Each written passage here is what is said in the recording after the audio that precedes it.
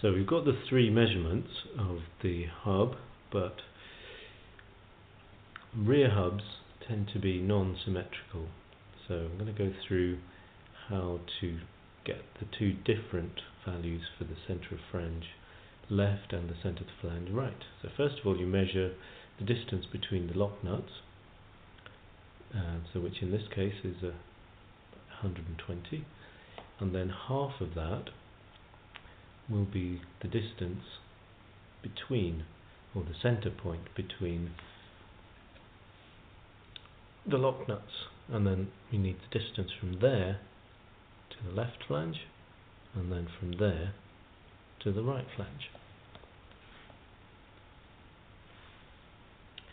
And we can use the logo as a marker point and if there is no logo then you can use a and mark it that way. Or you can if you're worried about marking your hub you can put a bit of masking tape and put your mark on there. And once you've found the center then you measure from the center to the left flange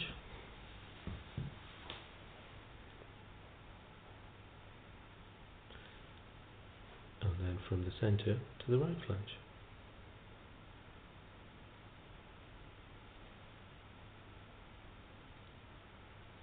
Okay, so we've got the center.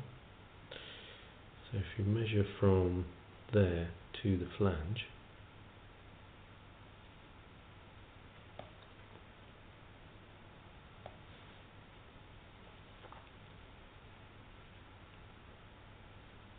and usually the the center to the left flange will be a little bit larger than the center to the right flange.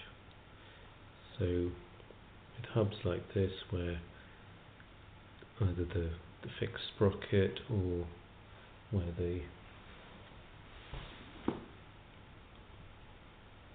the cassette or the block will be placed will mean that the, the wheel will be dished not centered between the flanges but between the center of the lock nuts.